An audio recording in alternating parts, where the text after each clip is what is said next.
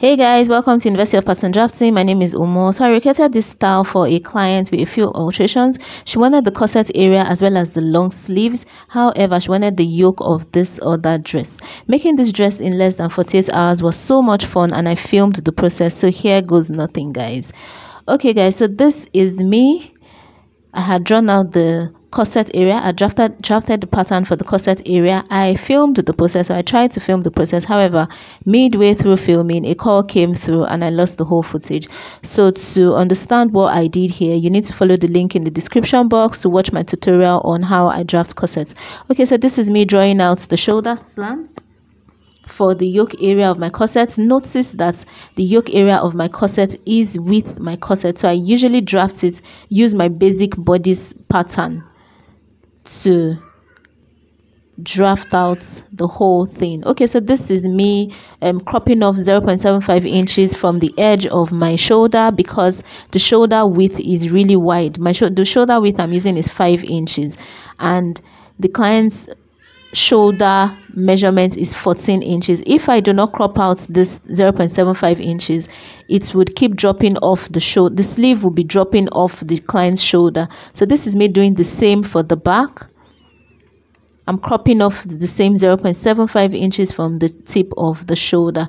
Okay, so I'm going ahead to find the lo to locate the side seam of my corset. Because this is a corset and both front and back were drafted together, I didn't take into cognizance the side seam. The client's bust is 19 inches. 19 divided by 4 is 9.5 inches. So this that is what I have marked out here just to know where the arm side of my front and my back should meet just to know where the midpoint is. Okay so this is me trying to draw out the yoke area. I had first drawn it out with pencil just so that i don't have to do too much on video. And because i had a really short time i had to finish up this dress in 48 hours. So i was really behind schedule. Okay so this is me. That's the same five inches neck width i was talking about and so my the strap of my um, dress is um, I think about 1.5 inches. Okay so I'm going ahead to also draw out the neckline of the back which is the same 5 inches. And I'm just going to connect that to somewhere at the top of the back portion of the corset guys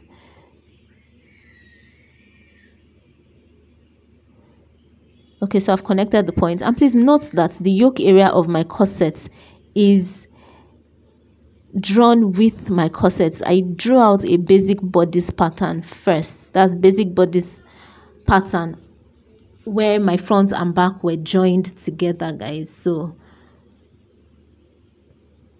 it's not like I just created the corset and just randomly created a yoke like some other people do. It would never really fit well if you do it that way. It's better to just draft everything together. So this is me just tracing it out.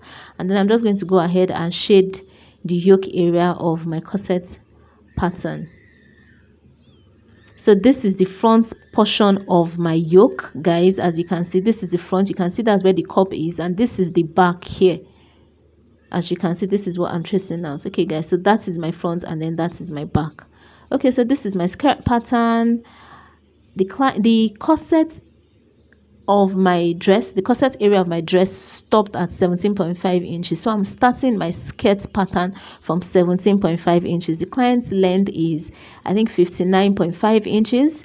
I'm going to add two inches to that just so it doesn't jump. So i'm using 17.5 inches to 61.5 inches guys. I hope this is clear.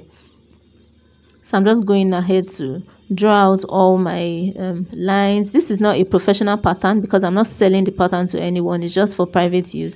So i'm not going to bother trying to indicate whether it's on fold or where the green line is supposed to be and all that and all that because i had a really really short time guys. This was i think this was i was already behind schedule so i had to really hurry up. Okay so this is me just drawing out marking my waist measurement. Sorry guys the camera cut out that part okay so please note that i'm drawing out the skirt pattern without any form of that. I usually do not put that on my skirt pattern unless it is called for. That is unless the disparity between the hip the client's hip circumference and the waist circumference is really large. That's only when that's the only time i put um that. Okay so this is me uh, marking out one inch allowance for my side seam so the side the seam allowance on my pattern is one on my skirt pattern is one inch guys.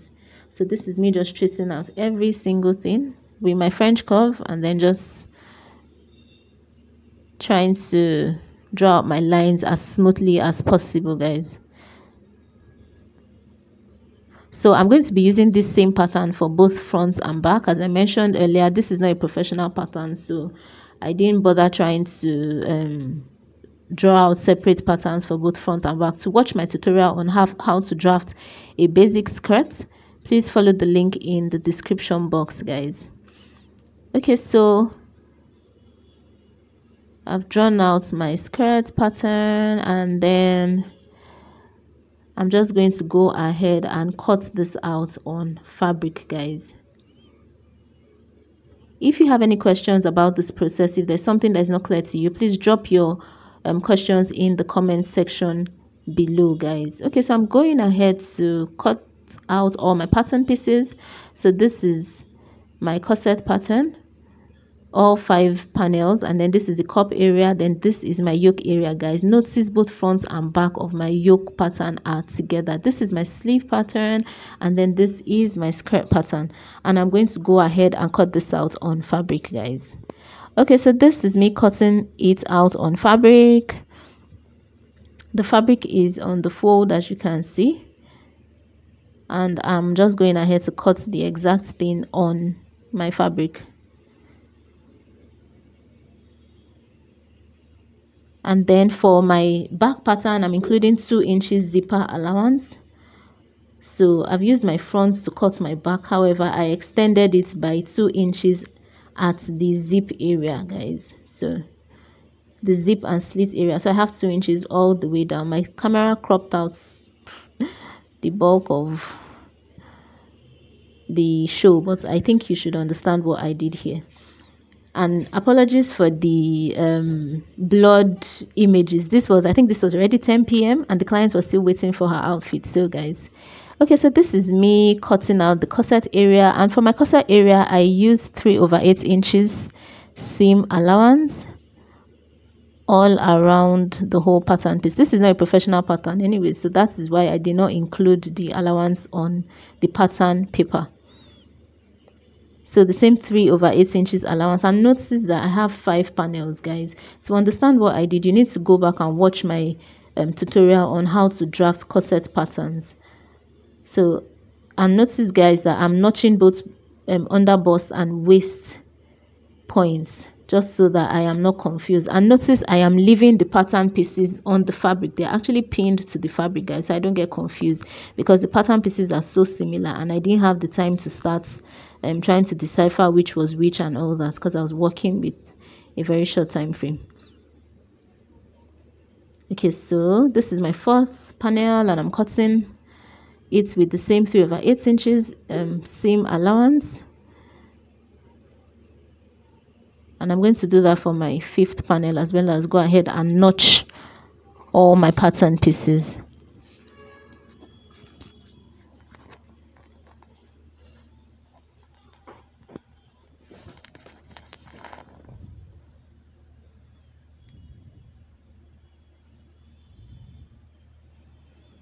okay so now I'm going to go ahead and cut the fabric for my cup area. Please notice that my fabric my I have four layers of fabric right there and this is the cup area. Same 3 over 8 inches allowance. The only difference is that the midpoint of the cup um, pattern I used one this point I'm pointing at I used 1 over 8 inches seam allowance guys while the other part is 0 3 over 8 inches seam allowance. And then please remember to notch your bust points. This is really important. Same 1 over 8 inches allowance and then 3 over 8 inches at the other points.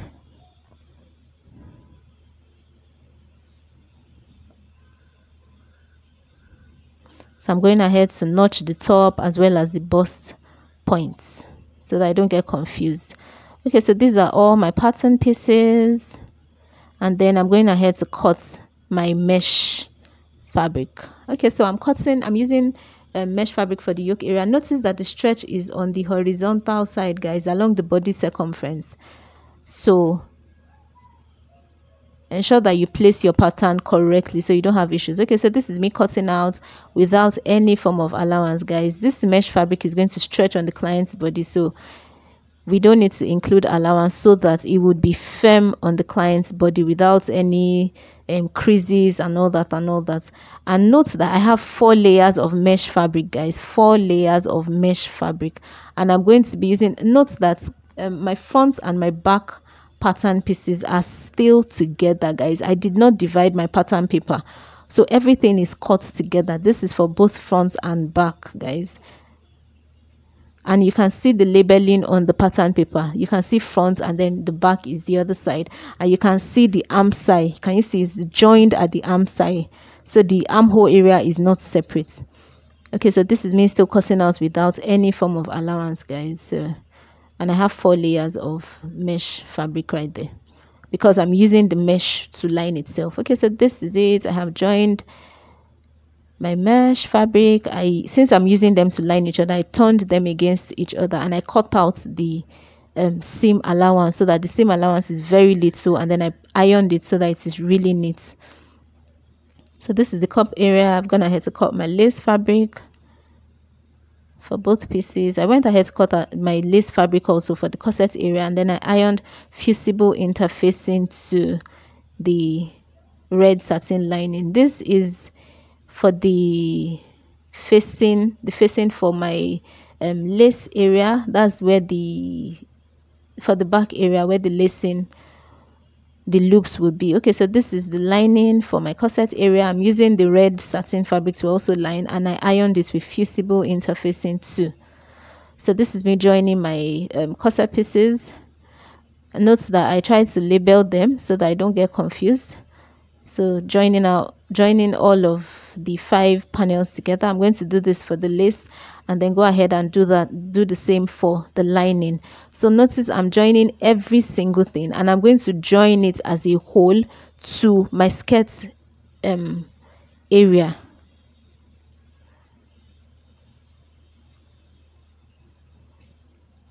So this is me joining all of these guys. I had to um hurry up with this because the client was still waiting for me and i had to hurry up so I couldn't really um,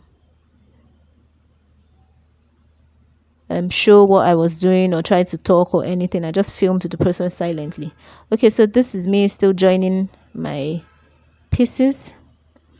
And I'm going to go ahead and do the same thing for my lining as well before I join the skirt area and oh so once i'm done with this this is me joining the cup area guys. Notice i left the pattern paper on the um pieces so that i do not get confused. So i'm just joining with the same thing over eight inches allowance. I use the red satin to also line the cup area. This is the um satin for the cup area. And then this is the main um, lace area which is going to be at the front of the dress. So guys if you've enjoyed this video thus far please make sure to subscribe to this channel because i'm going to be posting a lot more content like this. And i think this should be really helpful to everyone who watches it. Also if you have any questions or you need me to um, explain a particular process please make sure to drop your questions in the comment section. And i would uh, make sure i answer as soon as i see it okay so this is that's the facing for the loop area of the corset which is the back of the corset that i'm using loops for. So i also turned that. This is the lining area and i'm joining the lining pieces together.